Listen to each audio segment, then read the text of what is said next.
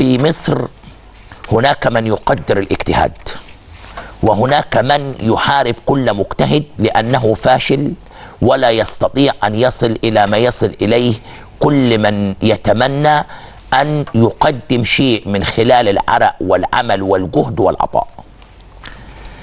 تجد ناس بتحاول تلغي ناس وتشيلها من على الخريطة وربما يكونوا أقل بكثير من إنك أنت ترد عليهم أو تضعهم في حساباتك لأن من عوامل النجاح ألا ترى هؤلاء الفشلة. وإنك أنت تركز لأن هو أقصى امانيه أن يأخذك إلى ملعبه ويجعلك تفقد تركيزك فتفقد صوابك فتجد الأمور مختلفة تماما. ما حققه ملعب الشمس في أيام الأربع والخميس والجمعة خلال الفترة الماضية كان حديث الرأي العام المصري والعربي. ربما تكون الدنيا على السوشيال ميديا ليس كما نحلم وما نتمنى ولكن الكل يعلم أن هذا البرنامج مشاهد بالملايين رضي من رضى وأبى من أبى. وهذا البرنامج يحظى بمصداقية بفضل الله عالية جدا. وعندما دخلنا في قضية دور المحترفين به بكل أطرافه كنت حريص على أن أحفظ اللوائح وما تنص عليه حرفيا وأن أكون على مسافة واحدة وإن كان هوائي دائما مع التطوير وكنت واضح جدا إني لن نسمح بأن نعود إلى الوراء ولكن علينا أن ندرس حقوق الأندية بالشكل الذي يجعلنا نتقدم إلى الأمام. للأسف الشديد ناس كتير بتحاول إنك تلغيك من على الخريطة وتلغيك من الوجود ولكن انت بتعدي عليهم وتدوس عليهم وانت ماشي بنجاحك وجدك واجتهادك. ولكن الأسوأ من ده إن تلاقي ناس بدأت تهاجم بعض المسؤولين اللي طلعوا معانا في البرنامج علشان اختصونا بحوارات حصرية أو كلام معنا فقط وده ليس من باب العلاقة مع عبد الناصر زيدان ولا الكلام ده كله لا من باب أن البرنامج أصبح حديث هذه الدرجة وبقي عبارة عن طبق وخلطة مختلفة. كل الناس بتتفرج على دوري الممتاز والدوري الأوروبي والدوريات العالمية.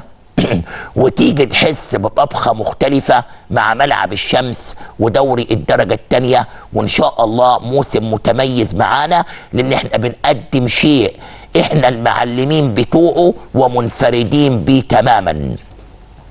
وبفضل الله مكملين في هذا الخط آه بنتعامل باحترام وبأصلنا وبطيبة وليس لدينا وقت في أن نرد على أحد على الشاشة. كلامي عام جدا وكلامي واصل لهؤلاء وعايز أقول لهم ادوا لنفسكم وقت إنكم تشتغلوا يمكن ربنا يكرمكم. أفضل ما تسخروا وقتكم عشان تحاربوا ناس ناجحة أنتوا أصلا لا في حساباتهم ولا في دماغهم. نحن نتعامل بطيبة قلب وبنقاء وبأمانة وحريصين في تجربتنا على تقوى الله وإن إحنا ما نروحش لأي أتون مشاكل شخصية أو خلافات. وبنتكلم في الأمور الخلافية من منطلق إن إحنا بنجيب خبر أو بنجيب معلومة.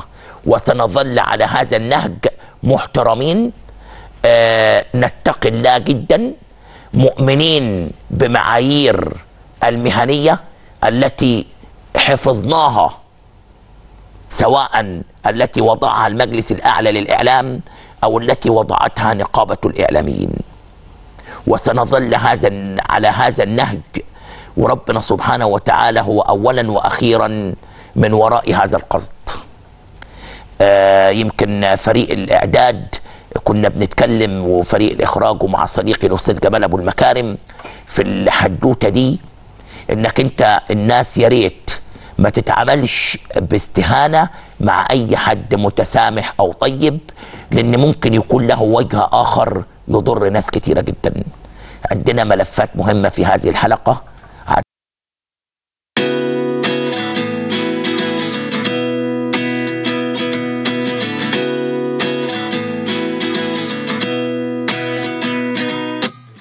29 and I find myself wondering uh, what did happen to the last 10. I ran away with my life, fast forward, never turn back again. It's kinda funny that the more we pass time, the more we need to set them rewind. And 19 was the year I had to leave you, but now I'm seeing all the signs. Is this really happening?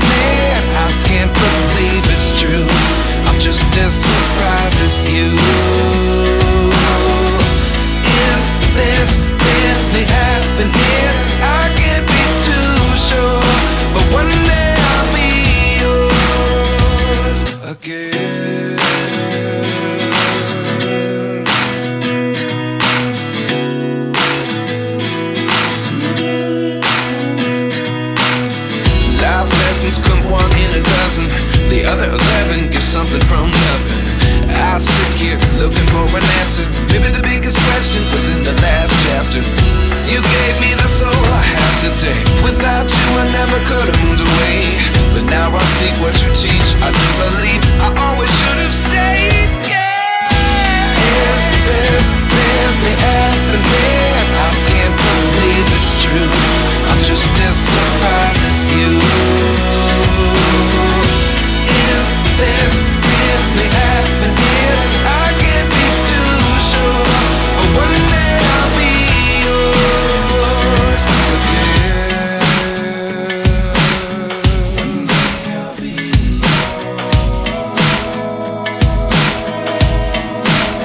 سيبك مننا اونطه لكن تنطبق على مين؟